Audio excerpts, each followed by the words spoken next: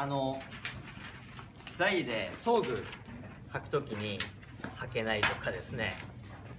背屈が出にくいと立ち上がりとかしにくいですよね。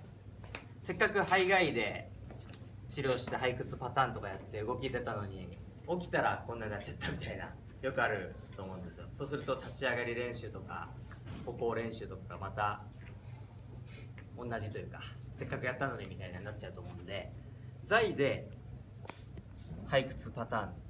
背屈パターンじゃないけど背屈が出やすくなるというか膝が突っ張りを直す方法ですね。で膝が突っ張り治るので健常でちょっと練習するときは背屈が変わりますよ。膝が緩むんで。背屈のしやすさとか上げといてつってで止めててとかっていうふうに評価すると背屈の機能上がった感が実感できるので患者さんに試しやすいかなと思います。でやり方はこれもあの陰性支持反射を使って膝を屈曲するっていう膝屈曲パターンですね。だからこういう感じです。あのここで一回身長反射入れてます。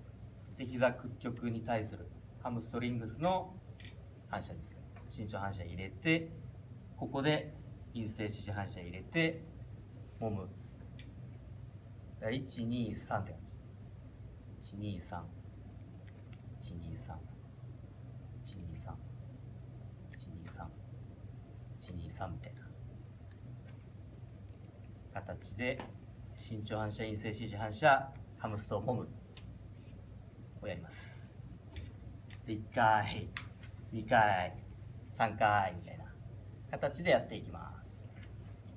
そうすると軽い軽いでしょ。で止めててね。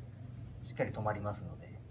そうすると患者さんだと装具が結構ぴったり入ったりとかっていうところにつながりますので結構効きますのであの試してみてください。